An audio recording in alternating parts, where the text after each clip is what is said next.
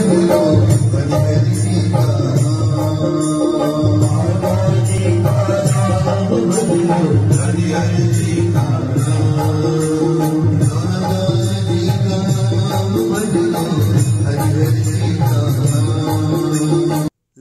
दो साल से अधिक समय तक निराहार रहकर नर्मदा के संवर्धन और संरक्षण के लिए संत दादा भाई गुरु इन दिनों नर्मदा परिक्रमा पर है।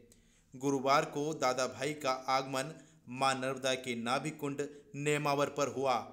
संत दादा भाई माँ नर्मदा के संरक्षण, संवर्धन और माँ नर्मदा को स्वच्छ निर्मल बनाने के लिए किसानों को रासायन मुक्त खेती और पेड़ लगाने का संदेश लेकर लगभग 150 परिक्रमा वासियों के साथ माँ नर्मदा की परिक्रमा कर रहे हैं।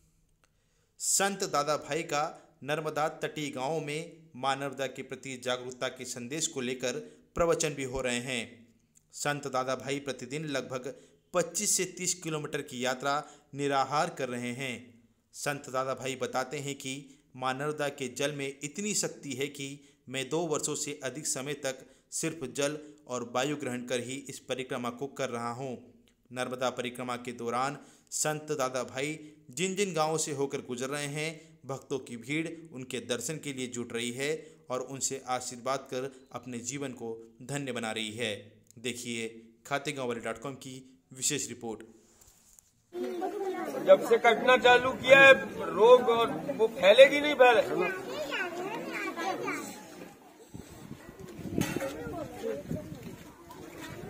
इसका डाल कटा। तुम्हारा दिमाग फिरा। गाँव भर की मर्यादाएँ खत्म। दिमाग काम करना बंद। ये दिमाग को ऊर्जा देता, शक्ति देता ही चीज़ है। पीपल और नीम दिमाग के लिए है ठंडा करती है। इसको काटते तो ज़्यादा दिमाग गर्म होगा तुम्हारा। और लड़का बच्चों का। अपना जीवन बर्बाद करेंगे। काट लो पीपल को, नीम को। शीतल करता है। तो मत काट।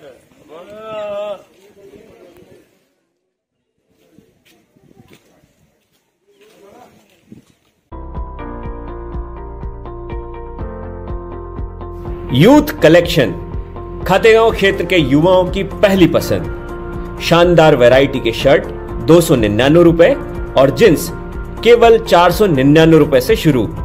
बेहतरीन कलर और डिज़ाइन के रेडीमेड कपड़ों की विशाल रेंज। तो अब से कपड़ों की खरीदारी करें सिर्फ़ यूथ कलेक्शन से। बहुत ही कम रेट में करें अपने को up to date youth collection, hotel Sawariya palace, Khategaon.